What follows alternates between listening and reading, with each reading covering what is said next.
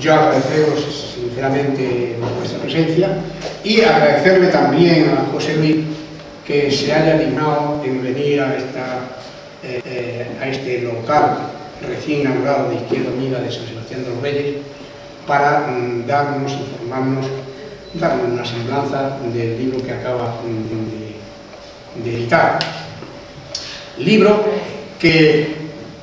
eh, yo no he tenido tiempo de, leerlo bien minuciosamente, además tampoco era, es mi misión de, hacer, de posarlo aquí, para eso viene él. Yo, por el repaso que le he dado, creo que es un libro muy oportuno, eh, que viene en un momento adecuado para la situación que tenemos, como él llama en un momento determinado, este trabajo hay que leerlo como un, planfeto propagandístico, eso de panfleto tiene una connotación peyorativa que a mí no, me gusta, porque por poco que yo he leído, creo que no es un panfleto, es un trabajo serio eh, de, análisis de la situación actual, de, la situación económica, sobre todo política y social,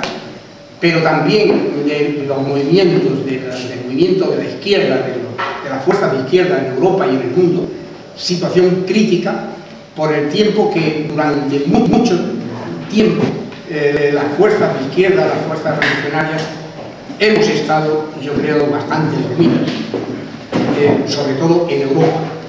Y él señala, eh, muy acertadamente, que gracias a los movimientos de Latinoamérica, que son hoy el foco que nos ilumina, que nos alumbra, que otro mundo es posible, que otra forma de hacer política es posible, y que lo que hay que hacer eh, cosa que hemos hecho en el pasado, es eh, un trabajo eh,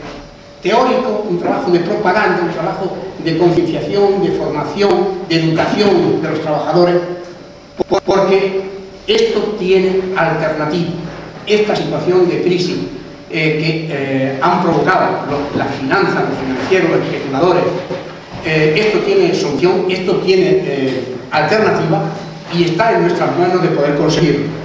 El objetivo, así, muy a largo rasgo, el objetivo del libro es eso, ayudar en la medida de lo posible a que millones o miles de personas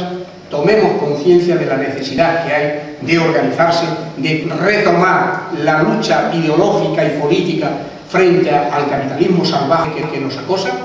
para buscar una alternativa al final del capitalismo este y encontrar una salida para un mundo mejor. Yo no me extiendo mucho más porque eh, él es el que tiene que glosar el libro y nadie mejor que él para hacerlo, ¿no? Así que muchas gracias y tiene la